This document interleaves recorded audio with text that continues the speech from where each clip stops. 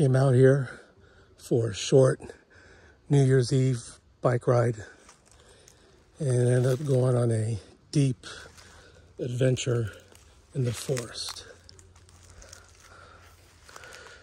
In this beautiful swamp.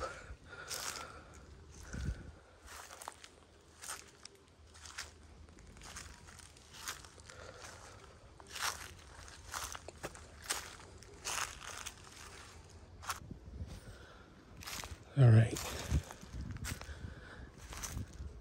Starting to hear banjos out here. Let's get the hell out of here.